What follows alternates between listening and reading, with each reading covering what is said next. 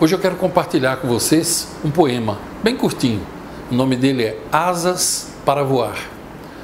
E ele diz o seguinte: Sobre a vida dos homens, muito há para ponderar. Pare para se questionar. Por que a maioria só consegue rastejar enquanto poucos conseguem voar? Com a sorte contam alguns e as questões do dia a dia os detêm. Seguem o curso que leva a lugar nenhum e parados os mantém enquanto outros, descontentes com a mediocridade humana vigente, na, na luta diária seguem em frente. Rejeitam a morte e tudo que é inerte, e novamente a questão verte. Por que poucos conseguem voar e a maioria só consegue rastejar? Esse poema já faz uns 15 anos mais ou menos que eu trabalho com ele em tudo quanto é aula que eu dou. Então eu lhe pergunto: o autor aí, ele, ele fez uma analogia, o voar é, os seres humanos que eu chamo de incomuns, de extraordinários, estupendos, fantásticos, magníficos, esplêndidos. São aqueles que se destacam, uma pequena parte só, como o próprio poema comprova. E os que rastejam? Bom, desses eu nem preciso falar, né? porque eu tenho falado eu tenho falado muito já nos vídeos sobre isso. São os tolos, nécios, patetas, imbecis, debilóides, retardados mentais voluntários, ordinários, comuns, medíocres. Você pode chamar do jeito que você quiser, estultos, pode chamar do jeito que você quiser. Eu arrumei 10 adjetivos aqui em questão de segundos. Você consegue arrumar bem mais, com a ajuda do Aurélio, você consegue arrumar bem mais. A grande questão é: se todos fomos equipados da mesma forma, se todos somos filhos do Altíssimo, se todos viemos a esse mundo à luz pelo mesmo processo fantástico e fomos concebidos da mesma forma, por que tão poucos de nós têm o desejo de voar? Não sei se vocês já ouviram falar de uma mulher chamada Helen Keller, que ela nasceu cega e surda. Tenta imaginar uma criança que nasça cega e surda, sem as duas principais portas de entrada do cérebro, que o cérebro tem cinco. Sabe o que ela escreveu na fase adulta? Uma, uma fase adulta, uma vida de labuta, não por si mesma, mas por todos aqueles que sofrem, que sofriam, cegos, surdos, desamparados. Tá? Essa mulher dedicou a vida a isso.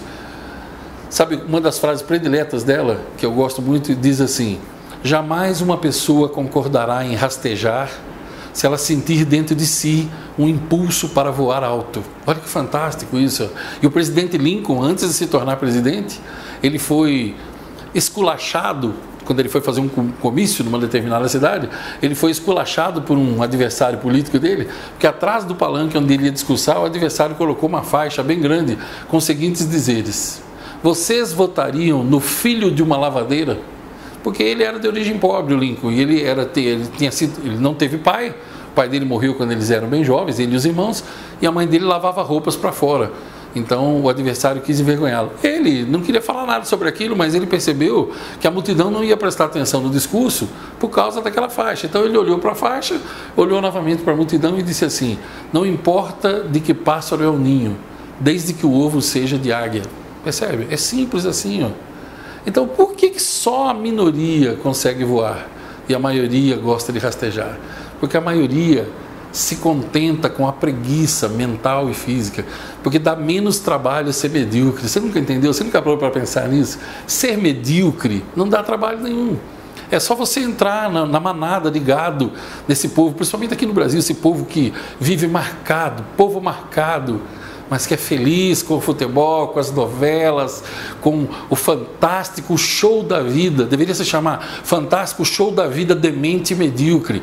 Sabe por quê? Porque os rastejantes, eles adoram Cidade Alerta, Mente Deserta. Eles adoram o programa do Datena, as novelas da maldita Rede Esgoto, Engana Bobo de TV.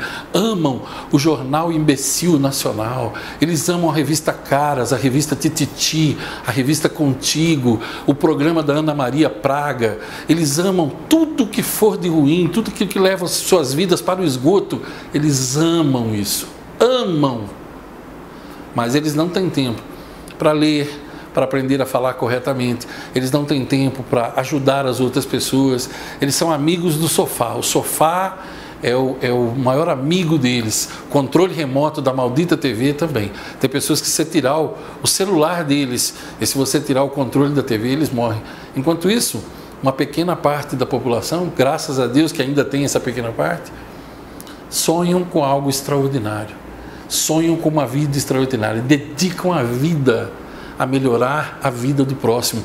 Dedicam a vida às suas famílias, às famílias que eles formaram, seu cônjuge, seus filhos. Dedicam a vida a cuidar dos idosos, a cuidar das crianças com câncer, a proteger as mulheres que são espancadas, as crianças. Enquanto isso, essa população pequena, os que voam, eles se preocupam com o tráfico sexual de mulheres e de crianças, eles se preocupam com a venda de órgãos no mercado negro, com assassinato planejado de mulheres, crianças e homens em hospitais eles se preocupam com a maquinação da mídia em cima, fazendo a lavagem cerebral, principalmente nesse país de ignorantes que nós vivemos aqui, esse país de 33 mundo, que eu tenho vergonha de falar sobre isso, porque é um país maravilhoso, mas o povo que aqui reside, na sua maioria, faz dele aquilo que ele é, junto com esse governo demente, corrupto, assassino e abominável que foi eleito pelo próprio povo. A minha grande pergunta para você é: você faz parte dos que voam ou dos que rastejam. E eu vou compartilhar com você uma frase que eu ouvi há muito tempo. Ela diz assim: Na vida, uns voam, outros rastejam. Se você, se você voa, você está certo. Se você rasteja, você também está certo. Uns estão atrás, outros estão na frente. Uns estão em cima, outros estão embaixo. Uns ganham e uns perdem. Se você está atrás ou se você está na frente, você está certo, desde que você esteja onde você escolheu estar. Eu vou me despedir de você com uma frase que eu gosto muito de, de um homem sábio que há muitos anos, estudando esse comportamento humano, ele disse exatamente o seguinte: ó, a maioria das pessoas enxergam as coisas que existem e se perguntam por quê. Eu, porém, sonho com coisas que ainda não existem e me pergunto: por que não? Lembre-se, a escolha é sempre sua. Você é livre para escolher, mas prisioneiro das consequências. Longos dias e belas noites para você.